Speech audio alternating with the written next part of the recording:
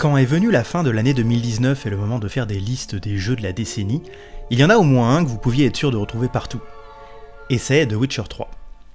Sorti en 2015 sur PC, PS4 et Xbox One, et réédité en 2019 sur Switch, il s'agit du troisième épisode d'une série développée et éditée par le studio polonais CD Projekt Red, adapté de la plus célèbre série de romans de fantasy polonaise, Wiedźmin, traduit en français par Le Sorceleur et en anglais par The Witcher.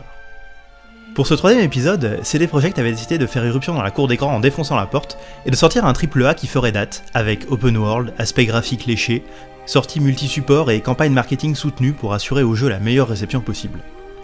Et ce fut la grosse success story. La presse, comme l'immense majorité du public, a plébiscité The Witcher 3, et les ventes du jeu ont probablement contribué aux trois quarts du PIB de la Pologne en 2015. Par son ampleur, par sa qualité d'écriture et son univers riche, il a marqué durablement l'industrie du jeu vidéo il y a assurément un avant et un après de Witcher 3 dans ce qu'on peut attendre d'un jeu AAA à notre époque, et cela s'est reflété jusque dans le changement de direction de la monumentale saga Assassin's Creed à partir de 2017. Personnellement, j'aime beaucoup ce jeu. Je l'ai entièrement terminé deux fois, une fois à sa sortie sur PS4 et une fois sur PC quelques années plus tard dans des conditions de jeu très différentes. On reviendra là-dessus. Et pour qu'un jeu parvienne à garder captive mon attention papillonnante pendant des centaines d'heures alors même que je l'ai déjà terminé une fois, c'est bien qu'il doit réussir quelque chose exceptionnellement bien. Cela fait un moment que je voulais en parler dans cette émission, parler de ses qualités et de ses défauts, mais voilà, il y a un problème, c'est qu'il est vraiment long et vraiment vaste. Faire une partie entière pour capturer ce dont je veux parler prendrait des semaines, voire des mois, et occuperait des terras entiers d'espace en capture vidéo. Commenter le scénario nécessiterait de se pencher en détail sur des dizaines d'heures de péripéties et de développement de personnages, sans parler de tout le background issu du reste de la série. Ça ne colle simplement pas avec le format de Esquive la boule de feu. C'est pourquoi je vous propose de parler aujourd'hui de The Witcher 3 à travers un morceau réduit mais représentatif de l'expérience complète, qui est sa deuxième extension payante, Blood and Wine. Autant le jeu de base a redéfini ce qu'on pouvait espérer d'un AAA, autant cette extension a redéfini ce qu'on pouvait attendre d'un DLC. Vendu 30 euros, il a le format, le contenu et la longueur d'un jeu entier. Et ce DLC seul a d'ailleurs gagné le titre de RPG de l'année 2016, quand il est sorti. Il est ainsi parfaitement approprié pour parler de ce qui fait la force du jeu entier et pour parler de ses systèmes. J'annonce donc des spoilers pour l'entièreté de Blood and Wine et un peu pour les livres, mais pas pour le scénario du jeu de base, dont il est détaché et qu'on va ignorer ici. L'ampleur de ce simple DLC s'inscrit dans une politique générale de grande générosité de la part de CD Projekt Red pour The Witcher 3. Entre le contenu immense du jeu de base, qui correspondait facilement à 4 ou 5 fois ce qu'on trouvait pour le même prix chez des AAA en 2015, la politique de distribution de petits DLC gratuits dans les semaines après la sortie, la bande-son du jeu offerte est contenue dans la boîte à l'achat avec une carte des Royaumes du Nord et un message de remerciement de CD Projekt. Les nombreux patchs après la sortie pour corriger des bugs ou ajouter des détails. L'attitude mod friendly pour les joueurs PC. Et enfin la publication de deux grosses et excellentes extensions pour trois bouchées de tacos. CD Projekt s'est assuré qu'on parle de son jeu longtemps et qu'on en parle en bien. Et ça a marché du feu de Dieu.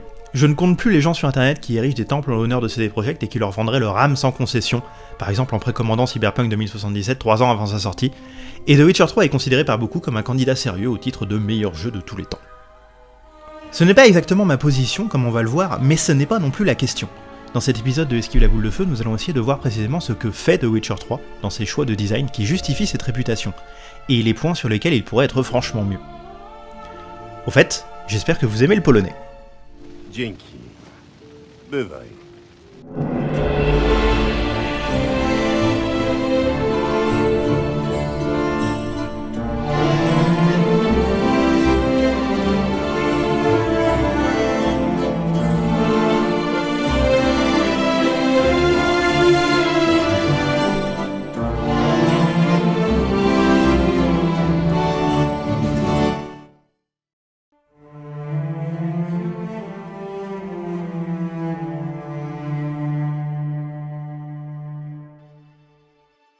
Je pense qu'on a tous une liste longue comme le bras de mauvaises adaptations d'œuvres qu'on a appréciées d'un format vers un autre et qui nous ont rendus très méfiants par rapport à cette pratique, qui découle plus souvent d'une ambition commerciale plutôt qu'artistique.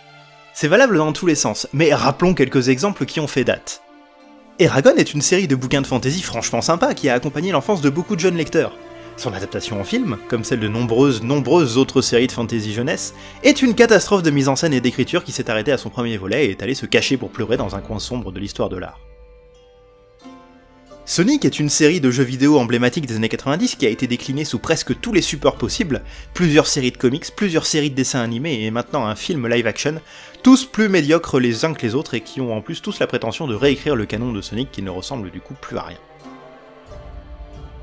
Final Fantasy VII est un jeu vidéo qui a constitué pour une génération entière de joueurs un éveil au scénario complexe et captivant, son adaptation moderne en simulateur de couloir ne garde aucune des qualités de l'original et se permet d'ailleurs de déconstruire méthodiquement tout ce qui faisait l'intérêt de ce fameux scénario complexe. Donc là, c'est là que les gens euh, mettent un pouce rouge et quittent la vidéo. Pour chaque dessin animé Astérix qui adapte avec respect et pertinence son matériau de base, il y a des douzaines de Game of Thrones le jeu mobile ou de Artemis Fowl le film, et si ce dernier exemple ne vous dit rien, estimez-vous heureux d'avoir été préservé de cet accident de l'histoire. Quelle indignité. Le format jeu vidéo me semble particulièrement être un dépotoir à mauvaise adaptation, et quiconque a une certaine expérience du gaming sait qu'il a meilleur compte à se diriger vers des licences originales, qui ont bonne réputation, plutôt que vers une adaptation de Berserk ou de Warhammer, quelle que soit la qualité du matériau d'origine. Il y a à ma connaissance une unique exception à ce constat, et c'est l'adaptation en jeu vidéo de la saga du sorceleur. Il s'agit à la base d'une collection de nouvelles et d'une série de fantasy écrite par l'auteur polonais Andrzej Sapkowski dans les années 90. Je les ai personnellement découverts dans la réédition en France en 2011, quelques mois après la sortie du deuxième jeu, mais sans savoir encore que ces jeux existaient. Les deux premiers tomes sont des recueils de nouvelles qui présentent très efficacement les personnages, l'univers, les enjeux et les thématiques qui seront ensuite exploités dans la saga qui court des tomes 3 à 7. Si par hasard vous n'aviez encore jamais entendu parler de cette série de bouquins, sachez qu'elle est vraiment excellente. S'il faut vous la vendre en quelques mots, imaginez Berserk qui rencontre Game of Thrones qui rencontre Shrek. Dans un univers inspiré d'une Europe de l'Est médiévale mais où les monstres et la magie sont partout, le personnage principal, Geralt, est un sorceleur, un tueur de monstres professionnel, qui essaye de vivre de son métier et qui se retrouve entraîné dans des machinations politiques ou des prophéties qu'il dépasse. Les jeux ne sont pas une adaptation directe des bouquins, c'en sont en fait la suite. C'est une décision qui a mis un peu CD Projekt en difficulté au moment de sortir de Witcher 3, en tant que titre grand public, parce que dans l'immense majorité des cas, ce grand public ne connaissait pas les bouquins, notamment aux États-Unis puisqu'ils n'ont fini d'être traduits en anglais qu'en 2017 et n'avait pas non plus joué aux deux jeux précédents qui n'étaient disponibles que sur PC et Xbox, pas sur PlayStation, et s'adressait à un public de niche d'amateurs de RPG occidentaux. Je suis mal placé pour estimer le niveau de confusion qu'a pu engendrer cette décision auprès du public nouveau, donc contentons-nous de remarquer que ça n'a pas l'air de l'avoir empêché de se vendre et de plaire, voire même de donner envie à tout un tas de néophytes d'aller se procurer les livres pour en savoir plus. Donc, euh, bah bravo le vous. Cela étant dit, voyons voir en quoi The Witcher 3 en particulier est une excellente adaptation. Pour commencer, les personnages qui sont repris des bouquins sont non seulement fidèles à leur représentation d'origine, ils arrivent en plus à la compléter, voire la dépasser. Leur apparence physique dévie parfois des descriptions de Sapkowski, mais les descriptions de personnages ne sont de toute façon pas sa grande force, et les quelques modifications qui sont apportées, notamment entre Merigold qui est représenté rousse plutôt que châtain, sont faites dans un souci d'apporter de l'identité visuelle à ces personnages. Pour illustrer ce que je dis, prenons le personnage du livre réintroduit dans l'extension Blood and Wine, le vampire Régis. Regis? E, nic ci nie jest? Wszystko w porządku. Rany na wampirach goją się lepiej niż na psach. Kopę lat, Wiedźminie. Oczywiście jak na waszą miarę czasu. Son apparence de vieil arboriste se dégarni colle très bien à sa description officielle, et personnellement je n'arrive plus à l'imaginer autrement. Mais ce n'est pas tout. Son manérisme, son maintien, sa façon de parler humble mais assurée en même temps, renforcent l'impression de charisme extrême qu'on attend d'un vampire supérieur. Tak, dziękuję. Powietrze tutejszych nekropolii nadzwyczaj mi służy. A teraz pozwól, że zadam właściwe pytanie. Widzisz tę buteleczkę, chłopcze? Jedna kropla dodana do pasty sprawi, że nawet najbardziej zabrudzony but wystarczy przetrzeć, aby lśnił jak kopuła katedry świętego Lebiody. Son doubleur polonais est également formidable, et le tout culmine en un personnage dont l'apparence tranche avec l'aura de noblesse et de danger qu'il émet constamment, et qui crève l'écran chaque fois qu'il intervient. Régis est déjà un formidable personnage dans les bouquins, et sa représentation lui rend honneur, mais c'est le cas pour tous les personnages du jeu, Yennefer, Vesemir, Jaskier, la duchesse Anna Henrietta. Le seul pour lequel j'ai quelques réserves, et c'est un peu con, c'est le personnage principal, Geralt. Comme il faut quand même que le personnage que vous contrôlez vous soit sympathique et permette de vous identifier, il se comporte un peu trop à mon goût comme un justicier pour un individu qui a élevé la neutralité au rang de principe, est un peu trop surpuissant par rapport aux nouvelles notamment où on le voit fréquemment galérer contre la première petite merde venue, et a un peu trop tendance à massacrer des assemblées entières pour l'avoir regardé de travers. Bref, c'est un peu trop un héros au sens blockbuster américain. Il est également un poil trop beau gosse. Le faciès inhumain et la gueule cassée des sorceleurs est un point important de leur caractérisation, mieux rendu d'ailleurs par le premier des trois jeux, qui explique le rejet dont ils sont censés faire l'objet de la part des populations. Avec un minois pareil, ça n'a rien d'étonnant que toutes ces demoiselles veuillent sortir du fourreau sa troisième épée pour l'examiner de près. Par conséquent, sachez que mes captures sont faites avec un mode qui blémit un peu la couleur de peau de Geralt et rend plus proéminentes ses cicatrices, pour coller un peu plus à ma représentation interne du personnage.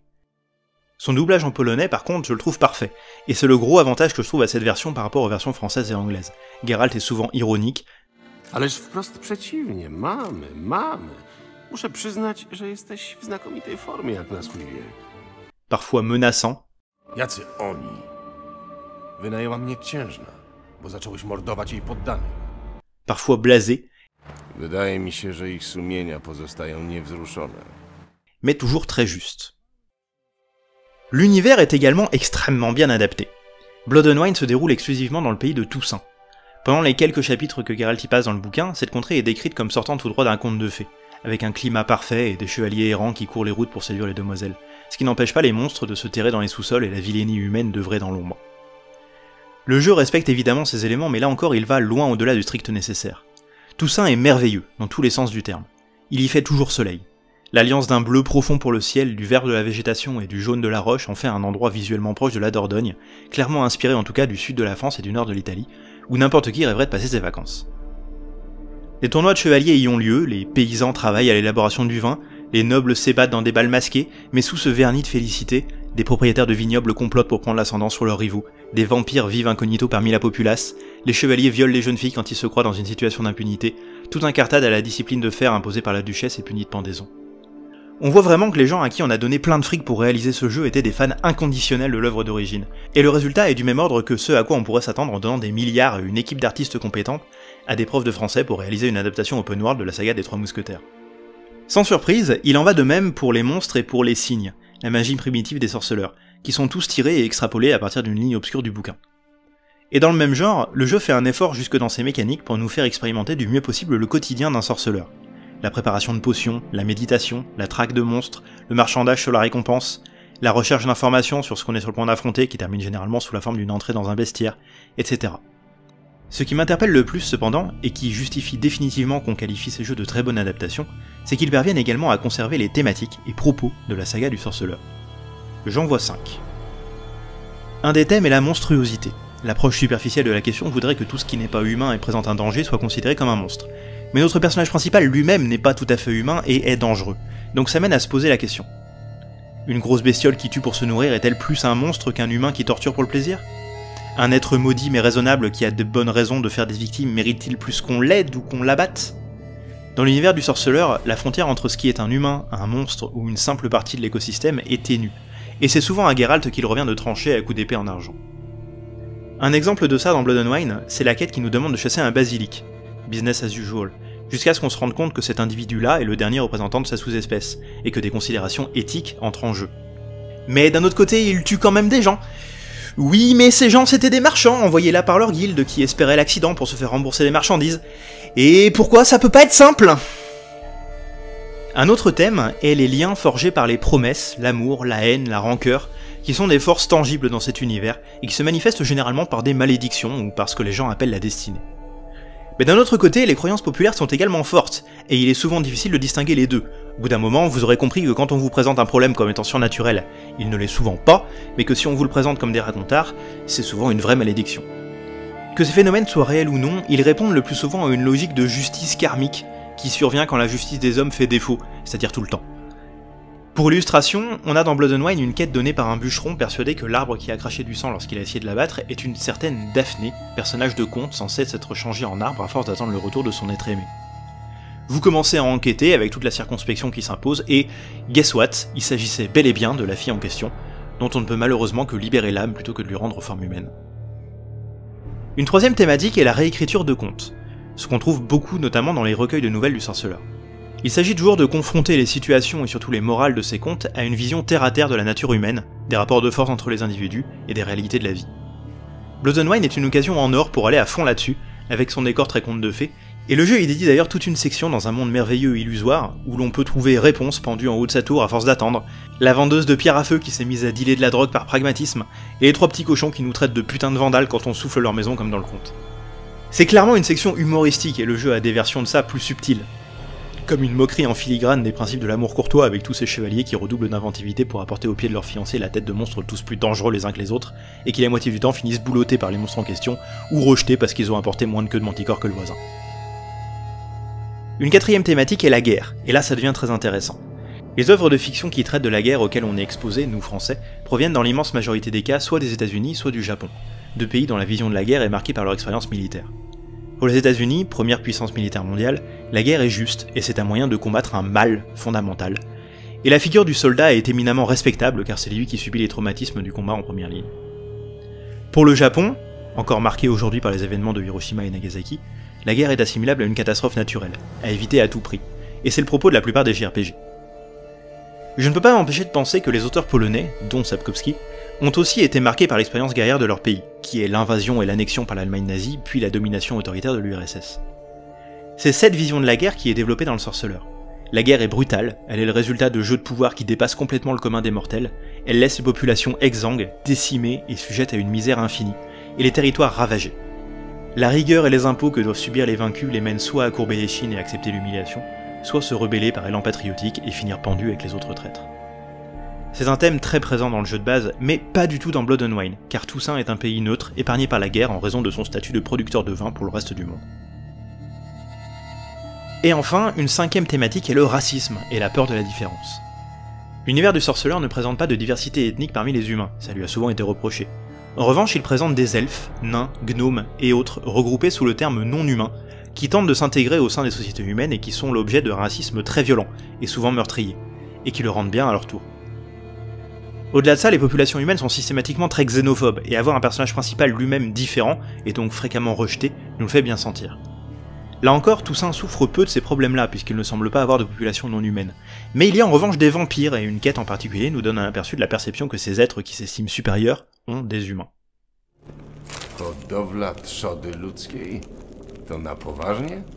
À ce titre, Régis apparaît comme un traître aux intérêts de son espèce, et c'est une problématique que le jeu aborde. Je ne veux pas prétendre que l'adaptation est parfaite, qu'il y a une continuité absolue entre les livres et les trois jeux. Vous trouverez facilement des pages et des pages entières de forums dédiés au pinaillage sur ce qui peut être considéré comme canon ou pas. L'auteur lui-même a considéré pendant longtemps que les jeux ne constituaient pas une suite valable à son œuvre. Et les différences fondamentales de rapport au public entre la littérature et le jeu vidéo rendent effectivement difficile le fait de considérer les jeux et la série de romans comme un tout uniforme. Mais c'est pas grave, les scénaristes de CD Projekt étaient conscients de faire un jeu avec les spécificités de format qui vont avec. Ils assument la différence de ton qu'on peut souvent relever avec les livres, The Witcher 3 allant par exemple beaucoup plus dans l'humour référentiel. Et rien de tout ça n'empêche que ce qui est important dans l'ADN de l'œuvre d'origine est ici conservé, voire amplifié. Pour résumer les choses, disons ceci.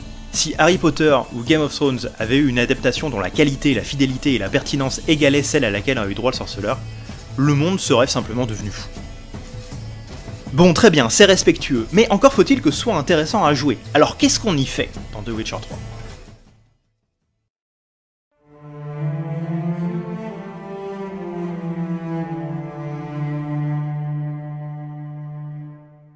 On parlera plus loin de l'exploration libre de l'espace de jeu lors de laquelle le joueur peut se façonner sa propre expérience. Pour le moment, parlons de ce que les designers ont implémenté dans le jeu pour vous faire y vivre des expériences guidées et raconter des histoires, c'est-à-dire les quêtes. Il y en a plusieurs sortes, de divers formats. Les quêtes principales, les quêtes secondaires importantes, les quêtes secondaires mineures, les quêtes secondaires humoristiques, les contrats de sorceleurs, et les quêtes toutes pourries. On va garder les quêtes principales pour la fin puisque ce sont l'attraction principale. Examinons donc en détail ces diverses catégories. Les quêtes secondaires que je qualifie personnellement comme importantes sont ce dont tout le monde parle quand on dit que The Witcher 3 a de formidables quêtes secondaires. Elles sont relativement peu nombreuses et se distinguent des autres quêtes rangées dans la catégorie secondaire par leur longueur, leur complexité et la présence d'un ou plusieurs personnages secondaires importants. Elles se reconnaissent au fait qu'elles vous sont données dans le cadre de la quête principale, ce sont celles dont les développeurs ne veulent pas que vous passiez à côté. La fameuse quête du baron sanglant dans le jeu de base en fait partie, tout comme les quêtes qui conduisent à des options de romance avec les sorcières Yennefer ou Triss, ou la quête qui détermine le nouveau roi de Skellige. Elles sont à percevoir comme des nouvelles, avec des enjeux forts pour les personnages ou le monde, un développement sur la longueur, plusieurs fins radicalement différentes et souvent un propos. Blood and Wine en a de mon point de vue une seule, qui tourne autour d'un chevalier amoureux d'une des dames de compagnie de la duchesse, et qu'il suspecte d'être maudite. Guess what? Elle l'est Enfin, si vous appelez avoir un plumage hyper badass et pouvoir se transformer en oiseau, être maudit. Et notre sorceleur national va entreprendre de lever cette malédiction. Mais pour déjà l'approcher et en discuter avec elle, il faut participer au tournoi de chevalerie dont elle est la marraine et s'y faire remarquer, ce qui est prétexte à des séquences de gameplay originales. Après une course d'obstacles à cheval, une compétition de tir à l'arbalète, un peu d'enquête, un peu de filature, une mêlée et un combat de boss, vous aurez l'occasion d'orienter cette histoire vers l'une de ces deux fins possibles. Soit vous acceptez que le jeune chevalier prenne sur lui la malédiction et les deux finissent en couple, soit vous trouvez qu'il se comporte quand même sacrément comme un stalker et vous levez entièrement la malédiction, ce qui laisse la demoiselle avec seulement 7 années d'espérance de vie qu'elle compte utiliser pour faire le tour du monde. Il y a du mystère, du divertissement, de l'action, des nanas sexy, du mystique, de la romance, et surtout il y a des thèmes qui sont brassés. L'importance de l'apparence, le sens qu'on donne au temps qu'on passe sur Terre, l'amour qui n'est pas forcément réciproque. C'est vachement bien.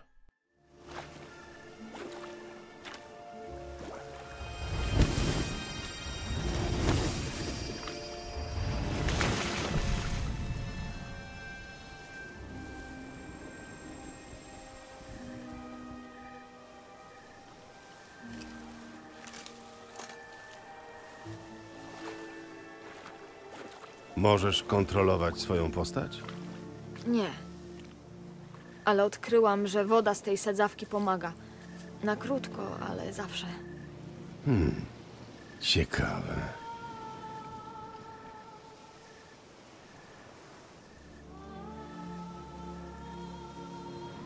Chodźmy. Ce serait mentir cependant que de prétendre que toutes les quêtes secondaires de jeu ont la même profondeur et la même ampleur. La majorité d'entre elles sont bien plus courtes que ça, ce qui ne les empêche pas d'être de grande qualité. C'est ce que j'ai appelé les quêtes secondaires mineures, qui durent une demi-heure à tout casser, avec peu d'étapes dans leur résolution, une partie en quête sommaire, mais toujours plusieurs dénouements qui vont généralement de la mauvaise fin à la très mauvaise fin. Elles servent à explorer un aspect précis de cet univers, et leur rythme rapide fait qu'elles restent intéressantes tout du long, et n'abusent jamais de notre patience. La meilleure illustration de cette catégorie que j'ai trouvée dans Blood and Wine est la carte intitulée Chevalier, dont je parlais tout à l'heure avec la nana changée en arbre. Voilà comment ça se passe. Vous trouvez l'annonce postée par un bûcheron sur un panneau d'affichage qui demande l'aide d'un sorceleur. Vous allez voir ce bûcheron qui vous explique la situation et le problème. Vous enquêtez un petit peu et vous déterminez qu'effectivement, on a sans doute affaire à la fameuse Daphné, végétalisée à force d'attendre son amant Gareth, qui était parti faire sa fête à une sorcière. Le bûcheron vous donne un livre qui contient les détails du conte et vous envoie chercher la sorcière en question qui se trouve vivre juste à côté. À partir de là, ça peut se passer de trois manières différentes. Soit vous ignorez la sorcière et tentez de lever seul la malédiction à partir du mouchoir de Daphné que vous avez trouvé chez elle. Ça se passe mal, parce que le rituel est mal fait.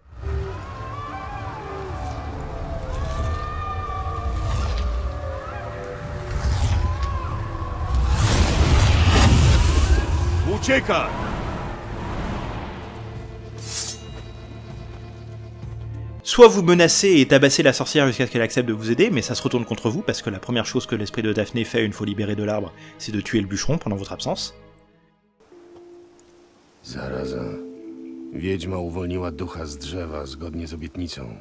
Nie dodała, że upiór będzie przepełniony bólem i oszalały z wściekłości. Opętał pierwszą żywą istotę, jaką napotkał, czyli psa, a ten zabił Jacoba. Żegnaj, rycerski drwalu. Szkoda, że to się tak skończyło. Nie zawsze życie przypomina bajkę, ale zawsze warto w coś wierzyć. Soit vous suivez les recommandations du comte pour obtenir de la sorcière les informations nécessaires pour effectuer correctement le rituel, mais même ainsi, Daphné ne redevient pas humaine, et la meilleure fin que vous puissiez obtenir, c'est que son âme parte en paix. Et que vous soyez payé. Masz, to twoja zapłata. No i możesz też zatrzymać książkę. Dzięki. Bywaj. Bywaj, Wiedźminie. Muszę jakoś poukładać sobie to wszystko w głowie. Dans tous les cas, il y a un petit peu d'enquête, un petit peu de marche, un ou deux combats, un gros dialogue à choix multiples, et c'est tout. Mais on ne reprochera pas à ces quêtes leur format réduit étant donné qu'il y en a un certain nombre, des comme ça, et que de toute façon les quêtes secondaires importantes existent à côté. Troisième catégorie, on a les quêtes secondaires à visée humoristique. L'humour fait partie intégrante de l'écriture générale du jeu, mais certaines quêtes sont construites autour d'un concept humoristique. Du fait de l'ambiance relativement légère de Toussaint, ce DLC en est particulièrement rempli. On a donc une quête qui référence ouvertement à la fameuse scène de la maison qui rend fou dans les tous travaux d'Astérix, By reaktywować konto, będzie potrzebne zaświadczenie A38. Po więcej informacji proszę podejść do stanowiska numer 1. Une quête qui consiste à accompagner un peintre pour qu'il fasse un portrait nu du sorceleur avec le palais de Beauclair en fond. La palme revient cependant à un contrat lors duquel Geralt consomme des psychotropes et devient capable de parler à son cheval, qui se montre tout à fait capable de mener une enquête seul et avec lequel il échange un certain nombre de blagues assez méta. Wygląda na to, że jego duch pod postacią konia dręczy Pinastri. Po co mi to mówisz? Przecież umiem czytać i wyciągać wnioski. Mówienie na głos pomaga mi w koncentracji. On aimera ou pas cette insistance sur l'humour selon ses goûts, et beaucoup trouveront sans doute que l'abondance de références nuise à la cohérence de cet univers-ci. Parce que bon, les références au conte c'est une chose, mais à Astérix c'en est une autre. Mais pour ma part, je trouve que ce que le jeu raconte en général est suffisamment sombre pour profiter d'un comic relief fréquent.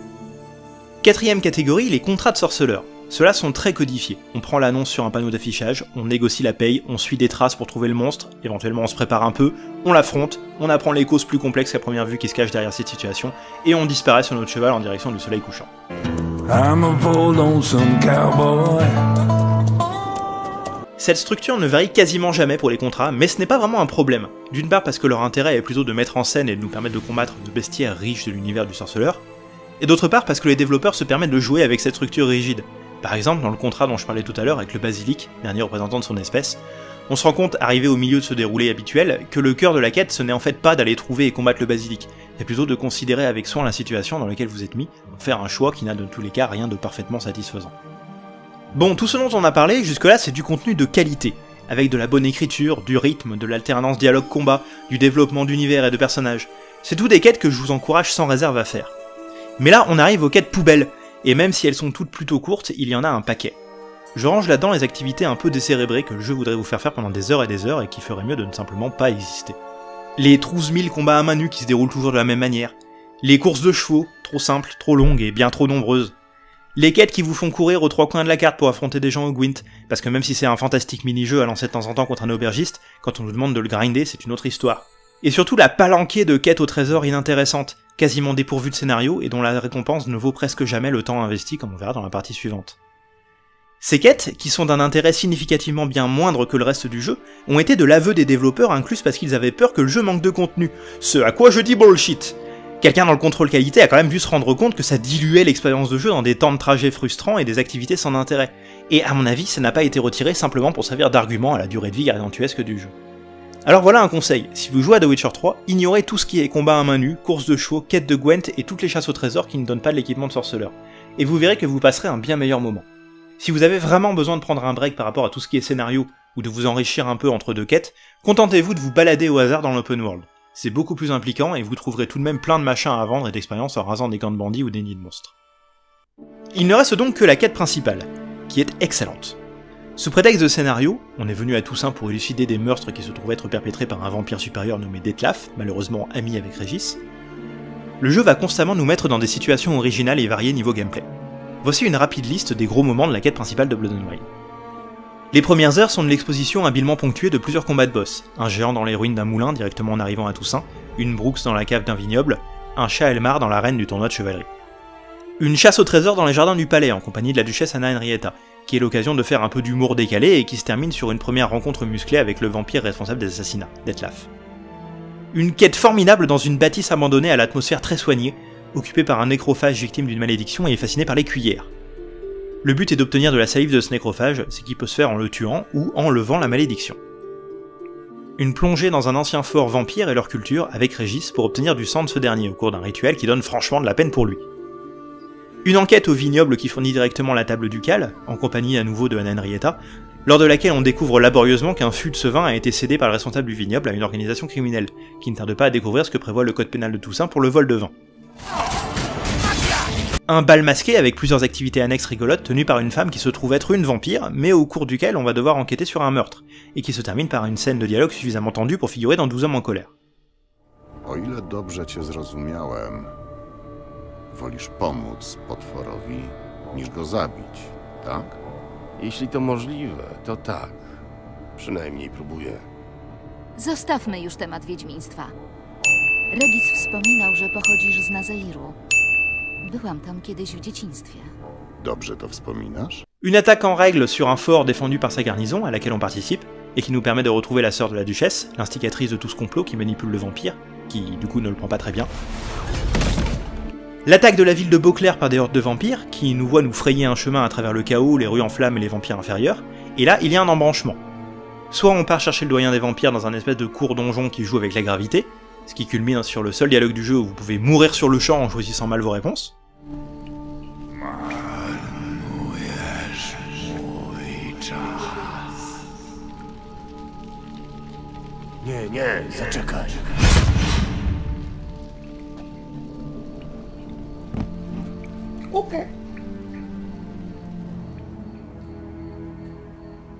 C'est hyper violent.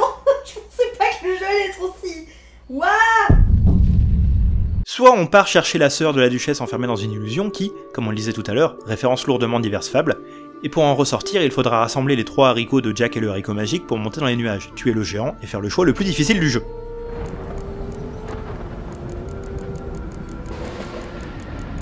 Dans tous les cas, la quête principale culmine avec un match retour contre Detlef particulièrement épique, en trois phases et significativement plus difficile que tout ce que le DLC nous a fait faire jusqu'ici. Après ça, il reste encore pas mal de dialogues pour conclure les enjeux scénaristiques, mais du point de vue gameplay, le DLC est fini. Il y a fort à parier que plusieurs des situations que je viens de décrire, si ce n'est toutes, vous paraissent intéressantes, et c'est bien normal, avec son niveau d'écriture, le jeu aurait pu se contenter de nous balader de gauche à droite, et de dialogue en dialogue avec un ou deux combats de temps en temps, mais un gros effort est fait pour que cette quête principale reste constamment passionnante, à suivre comme à jouer.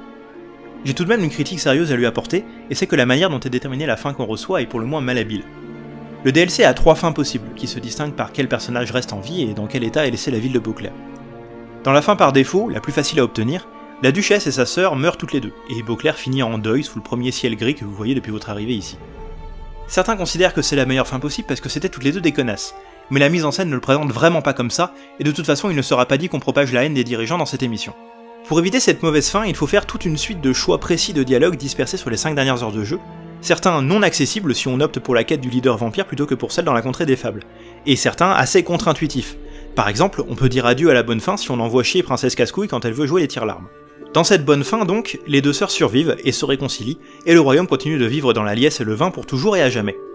Si vous n'êtes ni manager ni ministre de l'Intérieur, c'est que vous avez un cœur, et c'est donc une fin dans ce genre que vous allez espérer. Mais c'est vraiment facile de tomber dans la bad ending pour un simple mot de travers, et les conséquences apparaissent disproportionnées par rapport à vos intentions. Il y a une troisième fin intermédiaire où juste Siana meurt, mais celle-ci résulte d'un manque d'exploration de votre part, donc ça va.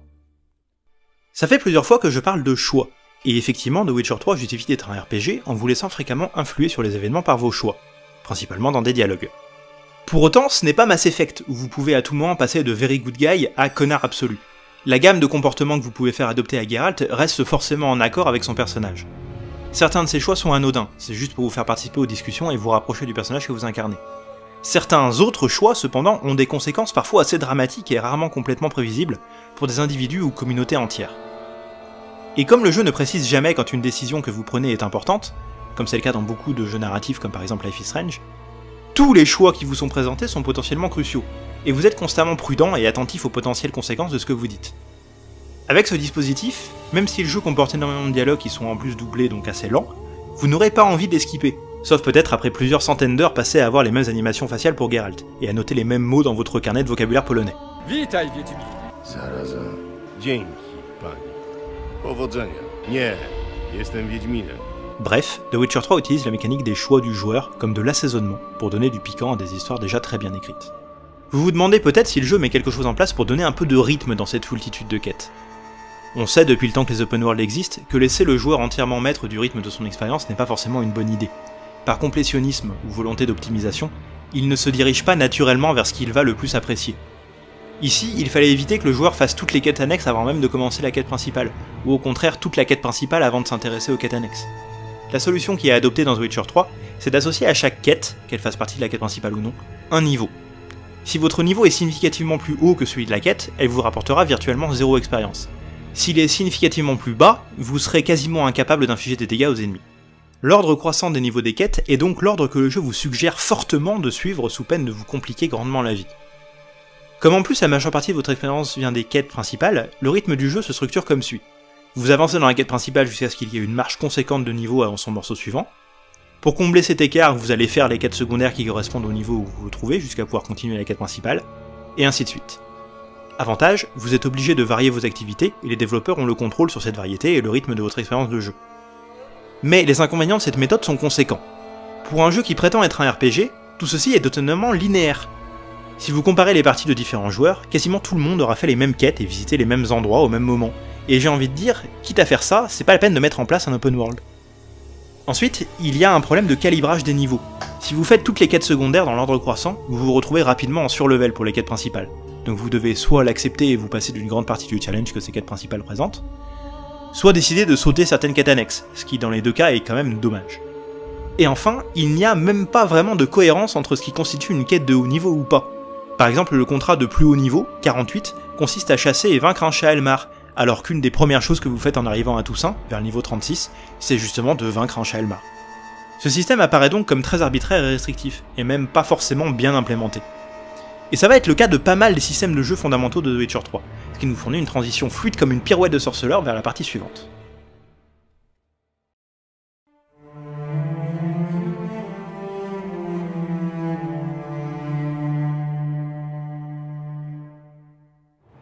Le scénario, les choix, les conséquences, tout ça c'est très bien, mais on n'est pas dans un jeu Telltale. The Witcher 3 est un RPG et met en place des systèmes et des boucles de gameplay qui vont dans ce sens.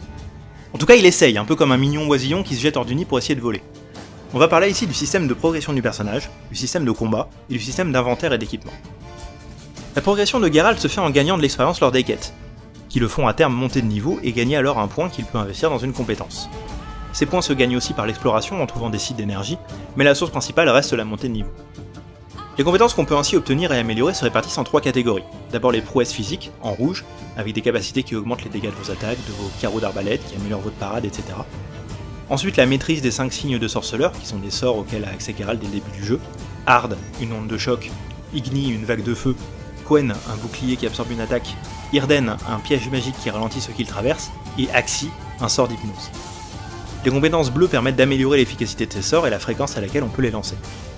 Ensuite, les compétences vertes qui correspondent à la maîtrise de l'alchimie, pour profiter au mieux des potions, huiles et bombes que l'on fabrique. Et enfin, des compétences jaunes qui sont générales et qui procurent un avantage conséquent mais qui ne s'améliorent pas, et qui occupent tout de même un emplacement de compétences. Parce que oui, les compétences ne sont pas actives dès qu'elles ont été achetées, il faut encore les équiper dans un des trop peu nombreux slots de compétences dont on dispose, dont le nombre augmente quand votre niveau atteint certains paliers. À chaque groupe de 3 compétences peut être associé un mutagène, qui, s'il est de la même couleur que ses compétences, augmente significativement une stade de Geralt. Genre plus 40% de dégâts de manière générale, c'est énorme. Sur le papier, c'est plutôt pas mal. Mais voyons maintenant la myriade de détails qui font que ce système s'effondre.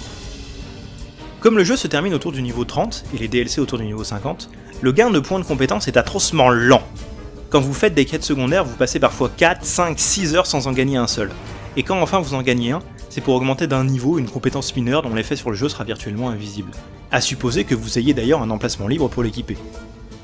La sensation de monter en puissance, qui est quand même le but d'un tel système de progression, est parfaitement absente. Même si cette montée en puissance existe bel et bien à l'échelle du jeu entier, elle est juste étalée sur une trop longue durée.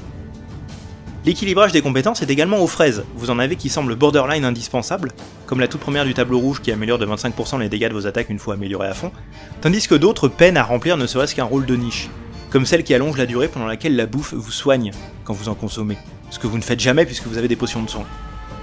Et il n'y a pas non plus un équilibrage sensé entre les possibilités de build. Sans en avoir l'air, le build alchimie est complètement craqué. Pour peu que vous appliquiez systématiquement de l'huile sur votre lame en début de combat, et que vous preniez la peine d'explorer pour crafter les substances alchimiques, vous pouvez stacker les bonus offerts par les potions comme un porc, regagner de la vie à l'infini, avoir une défense démentielle et tuer n'importe quoi par poison, même à plusieurs niveaux de différence. Le build physique fait pas le figure à côté de ça, tout comme le build magique qui en plus demande un menuing constant lors des combats pour changer de signe. Bref, ce système de progression est insatisfaisant, grandement déséquilibré et trop lent. Ensuite, nous avons le système de combat. Celui-ci emprunte énormément au jeu d'action. Il faut être attentif au timing et à la hitbox de nos frappes, parer, contrer, esquiver, rouler pour se dégager, etc. C'est un peu une version avec épée de ce qui a été popularisé par les Batman Arkham, qui a comme premier intérêt d'être assez cinématographique. Les premiers trailers mettaient en scène les combats d'une manière qui ont mené beaucoup de commentateurs à faire le lien avec Dark Souls. Bon, évidemment, avoir une roulade, un personnage un peu lourd, un contre et une barre de vie qui font facilement, ça ne suffit pas à en faire Witcher Souls. La principale différence, c'est que dans un Souls, une attaque ne peut pas être transformée en esquive avant que son animation soit terminée, pour donner un feeling lourdement réaliste et forcer le joueur à planifier ses actions. Là, l'esquive et les frames d'invincibilité longues comme un cours d'économie peuvent être lancés à tout moment, même en plein milieu d'une attaque, donc on est plutôt sur un gameplay basé sur des réflexes et l'improvisation. Ce n'est pas un défaut, c'est même plutôt malin pour figurer l'habileté des sorceleurs et la danse qu'ils sont censés effectuer en combat. Néanmoins, le premier gros problème qu'on constate après seulement quelques heures de jeu, c'est que même sans être amélioré, le signe de Quen est complètement pété. Il absorbe le premier coup subi, se lance de manière quasi instantanée et peut être relancé après seulement une poignée de secondes. Un usage prudent de Quen peut vous rendre quasiment invincible, même si votre build n'est pas orienté magie, et essayer de jouer sans relève plus de la challenge run que du choix.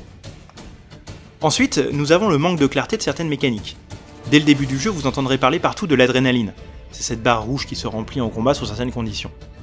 Elle intervient notamment dans la description de presque la moitié des compétences, qui donne 12 750 moyens de générer des points d'adrénaline, et quelques-uns pour les dépenser.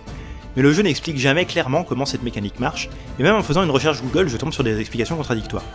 Certains disent qu'il s'agit d'un boost passif des dégâts proportionnel au nombre de points d'adrénaline qu'on possède, ce qui voudrait dire qu'on a intérêt à les conserver. D'autres disent que les points d'adrénaline ne servent que à être dépensés par l'effet de certaines compétences, et donc on n'a aucun intérêt à les conserver. Toujours dans la série des mécaniques dont le jeu parle tout le temps, il y a l'intensité des signes. Vous avez des compétences qui améliorent l'intensité des signes, des armures, des buffs temporaires, des potions, mais rien de tout ça ne vous dit ce que c'est que l'intensité des signes. Qu'est-ce que ça veut dire un gain de 5% en intensité pour Irden, qui est une zone de ralentissement que vous posez au sol? Eh ben, il y a une réponse à cette question, mais là aussi j'ai dû la googler pour la voir. Irden de base ralentit de 19% les ennemis et dure 10 secondes et chaque augmentation de 1% de l'intensité d'Irden le fait durer 1% plus longtemps et ralentir les ennemis de 0,25% supplémentaire. On pourrait se rendre compte soi-même de cet effet si ces améliorations étaient spectaculaires. Par exemple, si une augmentation de l'intensité de Hard me faisait soudainement envoyer valser tout le monde, ce serait très clair. Mais l'augmentation de l'intensité est très progressive, et le joueur a vraiment peu de chances de comprendre ce que ça fait par lui-même. Du coup, pour en revenir au combat, vous avez en fait beaucoup de mécaniques et d'options à votre disposition. Les bombes, les signes, les huiles, l'adrénaline, les potions. Mais à cause d'un manque de clarté concernant leur fonctionnement exact, le joueur est susceptible d'en ignorer une grande partie et de n'utiliser que ce dont le fonctionnement est le plus simple et le plus clair, c'est-à-dire les attaques basiques à l'épée. Enfin, et c'est une critique un peu abusive que de réclamer plus de contenu dans un jeu qui en a déjà à rabord, mais j'ai trouvé que les squelettes d'animation des monstres manquaient gravement de variété. Il y a un bestiaire très vaste, avec à peu près 130 entrées en comptant les DLC, mais finalement un grand nombre de ces entrées se recouvrent. Par exemple, les basiliques, les slizards, les cocatrices, les wyverns et les griffons sont toutes des créatures cool avec un modèle 3D formidable, mais elles se comportent toutes de la même manière en combat, modulo une ou deux attaques spéciales propres à chaque espèce, car c'est le même squelette d'animation, habillé différemment. Et comme le griffon se trouve être le premier boss obligatoire du jeu, vous serez forcément un peu déçu quand vous rencontrerez ces autres créatures et que vous vous rendrez compte qu'elles se battent de la même manière. Une fois rassemblés ces squelettes et les déclinaisons uniques de certaines espèces qu'on combat dans le cadre des contrats, les 130 entrées du bestiaire ne correspondent plus qu'à une petite trentaine de squelettes différents, ce qui en fait une variété un peu pauvre pour un jeu de plusieurs centaines d'heures qui se repose beaucoup sur son système de combat. Là où le jeu rate complètement le coche par contre, c'est dans son système d'équipement et de loot. Oh là là Geralt peut équiper 4 pièces d'armure. Plastron, pantalon, bottes, gants, ou alors il peut se balader à volpe, ça marche aussi. Une épée en acier et une épée en argent. Ces équipements sont soit trouvés dans des coffres ou sur des cadavres, soit forgés vous-même à partir de leurs matériaux de base. Pour vous encourager à vous investir dans le système de craft, et pour donner une motivation à l'exploration, toutes ces pièces d'équipement ont un niveau qui leur est associé, et qui traduit directement la hauteur de leur caractère d'attaque ou de défense. Ils ne peuvent pas gagner en niveau, donc la seule manière d'améliorer votre équipement, c'est de changer votre équipement. Vous aimiez bien cette relique spéciale qu'on vous a confiée à l'issue d'une quête? Too bad Trois niveaux plus tard, elle ne vaut plus rien face aux machettes que vous pouvez looter sur les brigands que vous décimez. L'impact du niveau des pièces d'équipement sur leur utilité est disproportionné, et ça devient très vite le principal critère de choix, devant même l'aspect esthétique et l'utilité dans votre build. En effet, les pièces d'équipement ont une liste longue comme le bras d'effets supplémentaires qui peuvent vous intéresser si par exemple votre personnage est orienté vers les attaques légères ou vers l'usage de signes. Mais même si ces bonus sont détaillés et chiffrés, et même en étant plutôt bon en calcul mental, je serais bien en peine d'estimer ce qui vaut plus le coup entre deux listes comme ça de bonus, donc c'est la valeur d'attaque globale, liée au niveau de l'arme, qui tranche. Pour entretenir cette boucle de renouvellement d'équipement, vous allez donc non seulement en trouver et en looter partout, encombrer votre inventaire avec plein de trucs qui finiront généralement chez le marchand, mais vous allez aussi ramasser 3 tonnes de merde qui ne servent qu'à être décomposées en ces matériaux de base pour pouvoir ensuite faire du crafting. Et la cerise sur le gâteau de ce système, de toute cette boucle de gameplay, c'est qu'elle est rendue caduque par l'existence des équipements de sorceleurs, qu'on trouve dans le cadre de chasse au trésor, qui complémentent particulièrement bien les différents builds possibles, qui ont visuellement les armures les plus cool du jeu, qui, à niveau égal, sont toujours sensiblement plus intéressants que tout autre équipement, et qui surtout ne sont pas périssables, puisque ce sont les seules pièces d'équipement qui peuvent s'améliorer par le crafting au fil du jeu pour accompagner votre montée de niveau. A peu près tout le monde joue en choisissant une armure de sorceleur qu'il va garder et améliorer tout au long du jeu, et ignore complètement toute la diversité d'équipements qui ne s'y rattachent pas, en vendant systématiquement tout ce qu'il trouve en explorant.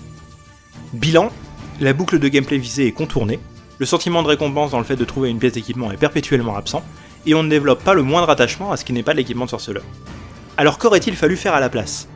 C'est simple, et c'est juste une question de chiffres dans le code. Pas de niveau associé aux pièces d'équipement, qui se distinguerait par les bonus qu'elles donnent et leur attrait visuel. on pourrait envisager de réduire la variété des pièces d'équipement présentes dans le jeu, en retirant plus particulièrement les armures et armes qui n'ont rien à faire sur un sorceleur, pour donner plus d'identité et d'intérêt à ce qui reste. Ça fait un paquet de problèmes, et même si rien de ce que j'ai mentionné ne rend The Witcher 3 injouable, à l'échelle des centaines d'heures de jeu passées à s'y frotter, on finit quand même par maudire CD Projekt pour ne pas avoir accordé autant de soins et de perfectionnisme à son game design basique qu'à ses environnements et à son écriture. Heureusement, si vous jouez sur PC, ce que je vous conseille ne serait-ce que pour les 60 FPS et la qualité graphique, pour tout ce dont je me suis plaint, il existe des modes qui peuvent vous permettre d'altérer et de mon point de vue de corriger l'expérience telle qu'elle a été designée par CD Projekt. De tels modes, j'en connais deux qui ne sont pas compatibles. Le premier s'appelle The Witcher 3 Enhanced Edition, qui refont complètement les mécaniques de combat et surtout retirent purement et simplement la montée de niveau, que ce soit pour les quêtes, pour les pièces d'équipement, pour les monstres ou pour Geralt lui-même, qui continue quand même à progresser dans ses compétences au fil du jeu, mais différemment. L'autre s'appelle le Ghost Mode et a une approche moins radicale, mais plus complète.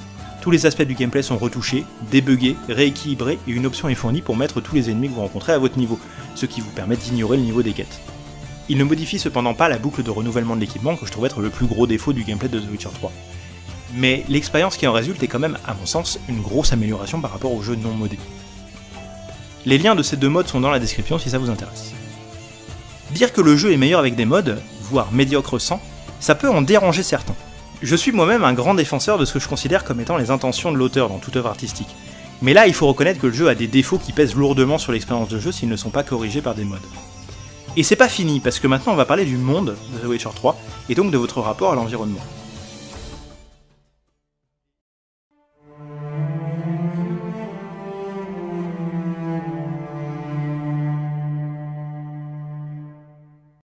S'il y a une chose que vous savez sur The Witcher 3, c'est probablement qu'il s'agit de l'apogée de la mode des open world des années 2010. Pourtant, il y a des différences subtiles entre cet open world et celui d'un Skyrim ou d'un Just Cause, différences qui proviennent de l'expérience passée du studio de développement avec The Witcher 1 et 2. Dans ces jeux, on avait déjà des environnements ouverts dans lesquels on pouvait faire la quête principale et les quêtes secondaires à notre rythme. Mais leur superficie était raisonnable et ils étaient renouvelés à chaque chapitre. Par exemple, dans The Witcher 1, le premier chapitre se passe dans les faubourgs de la capitale témérienne de Vizima, les chapitres 2 et 3 se passent dans divers quartiers de la ville, et les marécages alentours, le chapitre 4 se passe dans une communauté paysanne à l'écart de la ville, etc. Et quand vous avez terminé, disons, le chapitre 1, vous ne pouvez plus retourner dans les faubourgs de Vizima. Il se trouve que The Witcher 3 fait presque ça. C'est juste que le découpage en chapitres n'est pas explicite, que certains environnements seront géographiquement collés les uns aux autres, et que vous pouvez à tout moment retourner partout, même si la quête principale y est terminée. Si on demande à quelqu'un qui a de vagues souvenirs du jeu combien il y a d'environnements différents, il va répondre deux, la grande carte avec Novigrad dessus, et les îles Skellige. Bon, et ben de mon point de vue, il y a plutôt 7 environnements différents dans le jeu, qui peuvent correspondre à autant de chapitres.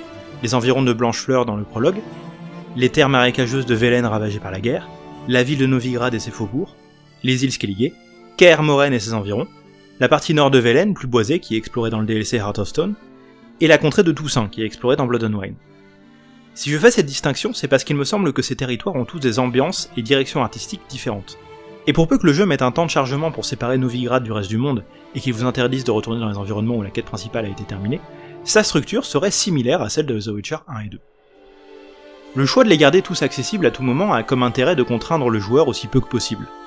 Mais c'est au détriment du sentiment de cohérence générale de la narration. Quand la quête principale est urgente, c'est une chose de prendre le temps de régler les problèmes des gens dans les bleds que vous traversez.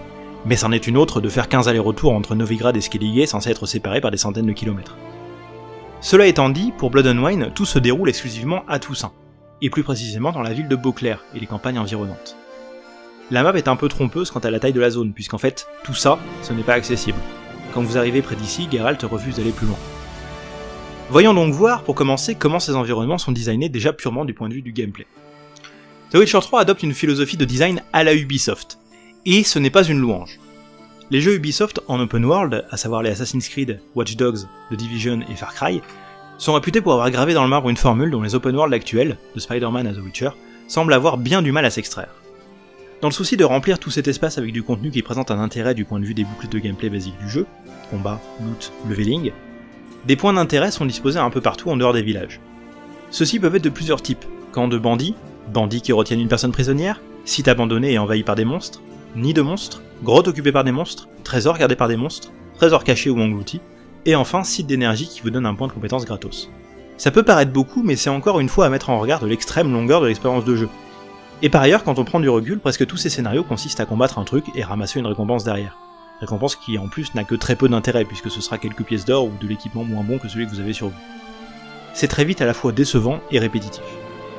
Comme dans un jeu Ubisoft, les points d'intérêt d'une région sont indiqués sur la carte par des points d'interrogation à partir du moment où vous examinez un panneau d'affichage, qui fonctionne à ce niveau-là comme les fameuses tours d'Assassin's Creed ou de Far Cry. D'après le documentaire de la chaîne NoClip dédiée à The Witcher 3, il est super, lien dans la description, la densité de ces points d'intérêt a été calibrée pour qu'un joueur qui court tout droit comme un poulet sans tête ne passe pas plus d'une trentaine de secondes dans cette grande misère existentielle avant d'en rencontrer un. Parce que c'est bien connu, hein, un joueur qui passe plusieurs minutes dans un environnement magnifique sans bandit à massacrer va instantanément décréter que le jeu est vide et chiant et retourner jouer à FIFA. Bon, je comprends qu'on ne puisse pas couvrir les 150 km que comporte le jeu avec du contenu unique et original. Mais même en acceptant cette répétitivité, il y a un problème fondamental avec cette manière de remplir l'espace, qui tient uniquement à la manière avec laquelle c'est communiqué aux joueurs. Le fait de signaler ainsi les points d'intérêt sur la carte, en plus par des points d'interrogation, un symbole qui n'est pas choisi par hasard, fait que le joueur qui a un tout petit peu d'instinct complétionniste va le vivre comme une checklist de trucs à faire et d'endroits à visiter. La récompense pour l'avoir fait étant moins le loot qu'on va ramasser que le fait d'avoir enlevé un point d'interrogation de l'écran de carte. C'est satisfaisant au début, genre sur la carte du prologue qui est très réduite, mais dès que vous arrivez sur une carte plus grande, l'ampleur du boulot que représente cette checklist a de bonnes chances de vous décourager complètement. Et si vous avez encore cette mentalité en arrivant à Skellige, vous allez soit mourir d'ennui, soit jeter le jeu par la fenêtre à force de ramasser les 15 millions de caches de butin cachés dans l'océan. L'ubification de votre rapport à votre environnement continue avec la catastrophe qu'est l'interface du jeu. Vous devez avoir compris depuis le temps que de manière générale j'ai le même rapport avec les interfaces qu'avec les actionnaires, c'est mieux quand il n'y en a pas. Mais celle de The Witcher 3 est probablement la pire de tous les temps. Pas parce qu'elle n'est pas claire, bien au contraire, toutes les informations dont on a besoin sont là. Barre de vie et d'endurance, minima, potions équipées, rappel des commandes, journal qui tient compte des actions en combat, il ne manque rien. Mais en se superposant au jeu, cette interface hyper envahissante devient le jeu. Quand vous suivez une quête, vous ne regardez pas le chemin, les arbres, les maisons et les PNJ. Vous suivez la petite ligne de points blancs sur la minimap, GPS qui vous mène tout droit à vos destinations. En combat, vous ne regardez pas les animations des ennemis, mais leur part de vie et les chiffres des dégâts que vous leur infligez. Je sais que je dis ça à chaque fois et que ça semble être mon délire personnel, mais là je suis pas le seul, vous avez des dizaines de pages de forums de gens qui pestent contre cette interface, et quiconque essaye de jouer en comparant avec et sans constatera immédiatement l'impact que ça a sur l'expérience de jeu globale. Avec l'interface, vous passez votre temps à courir en direction de l'objectif suivant, et l'environnement est au mieux une jolie salle d'attente que vous traversez au pas de course, et au pire un obstacle à votre progression quand vous devez contourner une colline ou une maison stupidement posée sur votre ligne droite. En fait, pour le dire simplement, ce que cette interface tue, c'est l'immersion. Donc vous avez tout à gagner à la virer. Mais vous allez vous rendre compte que c'est pas si simple que ça. Pour la barre de vie par exemple, soit vous acceptez qu'elle vous pollue votre champ visuel constamment en la laissant activer, soit vous la désactivez mais vous ne la verrez alors plus non plus lors des combats, ce qui est rédhibitoire. Pour la minimap, pareil, c'est soit tout le temps, soit jamais. Mais le design des quêtes part du principe que vous allez suivre le GPS. Les PNJ ne vous donnent que rarement des indications précises sur comment trouver les objectifs à partir d'indices dans l'environnement. Si vous n'avez pas la minimap, vous êtes donc condamné à ouvrir manuellement toutes les 15 secondes la carte complète, pour voir où se situent ces objectifs et par où vous devez passer. Ce dont le jeu manque gravement, en fait, c'est d'une interface dynamique. Et c'est con parce que c'est quand même très simple à implémenter. Une barre de vie qui n'apparaît qu'en combat, et une minimap qu'on peut afficher et enlever en pressant simplement un bouton. Et ben, il se trouve que là aussi, il y a un mode, Friendly HUD, qui permet de faire ça. Et bien plus encore si comme moi vous êtes un extrémiste de l'absence d'interface.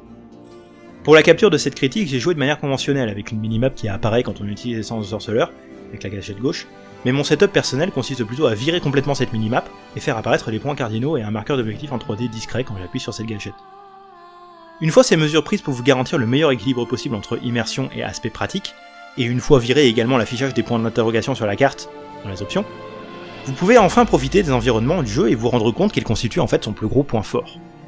Déjà, vous n'aurez pas manqué de remarquer depuis le début de la vidéo que c'est beau putain, c'est beau, ça rase partout, tout le temps Je joue avec un mode graphique qui améliore les textures, mais même sans, l'alliance de photoréalisme et d'une direction artistique poussée pour chaque région fait hurler de joie les pupilles. C'est bien simple, ce jeu a 5 ans, et pourtant il reste un des plus gros plaisirs pour les yeux que vous puissiez installer sur votre ordi. Mais les oreilles sont tout aussi gâtées que les yeux. Pour la bande son, le studio a fait appel à un groupe de rock médiéval, oui ça existe, appelé Percival et qui reprend les chansons traditionnelles de plusieurs pays d'Europe de l'Est. Le résultat est des musiques qui utilisent un instrument exotique et des chants polonais pour un rendu totalement unique et constamment formidable.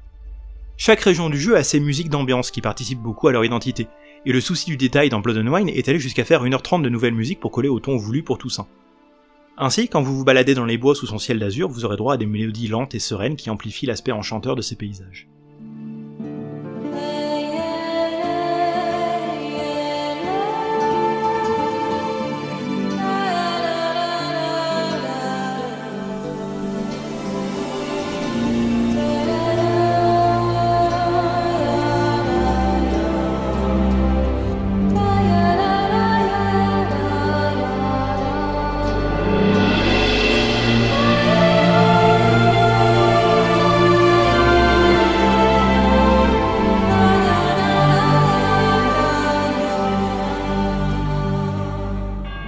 Chaque région a également plusieurs musiques de combat, toutes absolument formidables et qui vont vous coller à la tête longtemps après avoir reposé le jeu.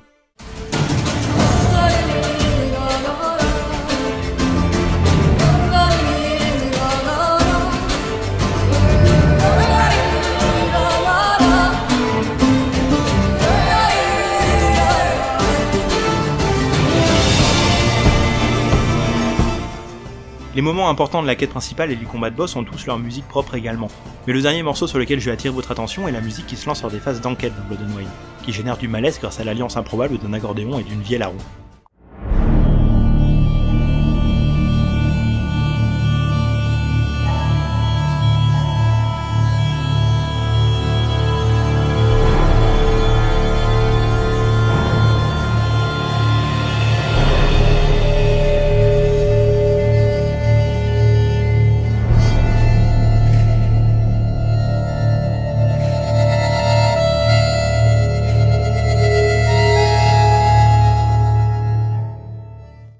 Le truc cependant, c'est que The Witcher 3 ne se contente pas d'être beau.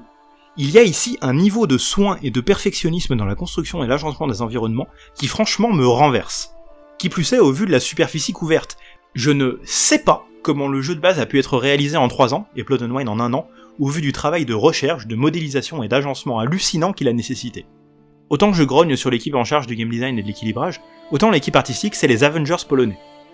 Beauclerc et son architecture inspirée des régions méditerranéennes, ses enseignes devant les échoppes, ses PNJ qui suivent une routine quotidienne, ses rondes de garde sur les plus grandes avenues, ses quartiers pauvres sur les pentes qui mènent au port, ces Brooks qui se baladent parmi la population en croyant qu'on va pas les reconnaître.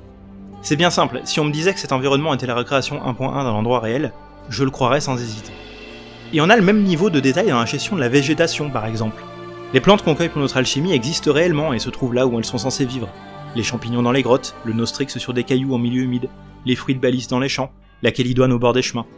C'est valable aussi pour les autres végétaux, ceux qui ne servent qu'au décor, et c'est particulièrement vrai à Toussaint qui est une région très verte. On a du lierre sur les murs, des vignes arrangées comme en vrai, des oliviers, et je n'ai pas vérifié mais je mettrai ma main à couper que les tournesols se tournent pendant la journée pour suivre le soleil. Le monde est tout aussi impressionnant dans son agencement global. Des routes de taille variable et crédible relient les différents villages, des sentiers s'enfoncent dans les bois lorsqu'il est crédible que des humains aient besoin d'y passer fréquemment, et des voyageurs arpentent les routes entre les lieux d'habitation. Je le répète, je suis purement et simplement soufflé. Dans le documentaire de nos clips, les artistes expliquent leur processus de création. Quelqu'un venait créer une carte vide, quelqu'un d'autre y ajoutait des maisons, puis quelqu'un d'autre de la végétation, puis de l'ameublement, etc. Et en passant à plusieurs comme ça, couche par couche, ils se sont retrouvés avec le monde imaginaire le plus visuellement crédible jamais réalisé pour un jeu vidéo. Plus encore que les derniers Assassin's Creed, qui ont l'avantage pourtant de se contenter de recréer des environnements à partir de sources historiques. Pour dire les choses simplement, l'impression générale que j'en retire est que les développeurs n'ont pas inventé un monde pour être l'arrière-plan des événements qu'ils imaginent pour leur jeu, mais plutôt qu'ils ont inventé un jeu pour animer leur monde. J'en viens donc à la manière de jouer à The Witcher 3 que je recommande fortement parce qu'à mon sens, elle maximise ses points forts et minimise ses points faibles. Si vous voyez un gars avec des tracts dans la main et le regard fébrile en embuscade à la sortie des universités, ça peut être un militant du NPA, mais ça peut aussi être moi qui tente de vous convaincre de virer tout ce HUD, d'oublier que le voyage rapide existe, de faire disparaître le système de niveau des quêtes, qui vous impose un ordre de visite des différents endroits du monde, et de juste vous balader. De vous émerveiller des détails, du vent dans les arbres, de l'architecture des chaumières, des paysans qui font tourner les vignobles. De tomber par hasard sur les points d'intérêt après avoir désactivé leur affichage sur la carte et donc de les vivre tous comme des expériences inattendues, plutôt que comme une ligne de plus sur votre checklist. D'arriver dans un village, de rester le temps de résoudre toutes les quêtes environs sans avoir à vous soucier de leur niveau, et de repartir en direction du village suivant quelques heures plus tard avec une bourse sensiblement plus lourde de prendre le temps d'aller là où les quêtes, les points d'intérêt et le GPS ne vous auraient jamais mené, au milieu des bois, dans les ruelles des quartiers pauvres de Beauclair, sur les bords de la carte. Et de considérer la quête principale comme la cerise sur le gâteau de votre expérience, à consommer avec modération une fois que vous vous êtes bien approprié les environnements où elle vous envoie. Si vous jouez comme ça, The Witcher 3 n'a pas une durée de vie d'une centaine d'heures, il a une durée de vie de 300, 400 heures. Et vous ne le finirez probablement pas en une fois avant de vous lasser et de vouloir jouer à autre chose. Mais c'est pas grave, parce que cette expérience sera value pour le voyage plutôt que pour sa destination. Un voyage formidablement immersif, unique dans son échelle et sa réussite artistique parmi tout ce que peut vous proposer le jeu vidéo.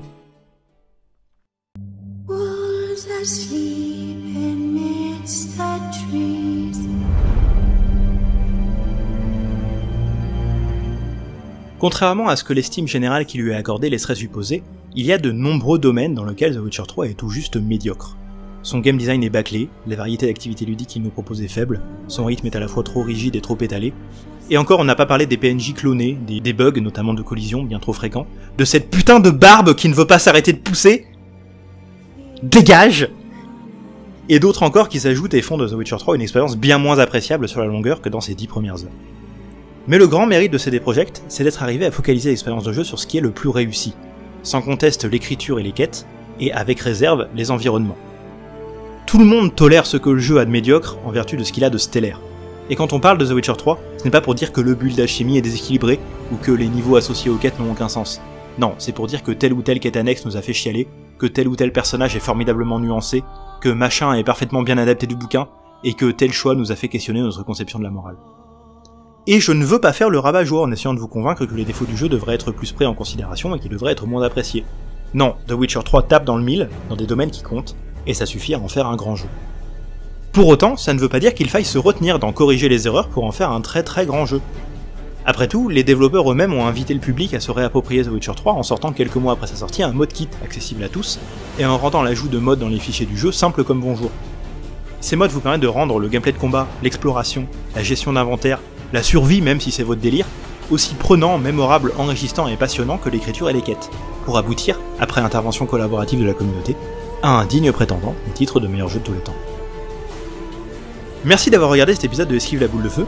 The Witcher 3 est un jeu sur lequel il y a énormément à dire, et j'ai dû faire des choix pour ne pas diluer le propos dans des détails qu'il aurait perdu. C'est pour ça qu'on n'a pas parlé du Gwent, du système de mutation introduit dans Blood and Wine, de comment sont traitées les options de romance et bien d'autres. Mais sur ce dernier point au moins, je peux vous dire qu'il y a une option bien meilleure que l'autre, et que c'est celle qui balance des boules de feu.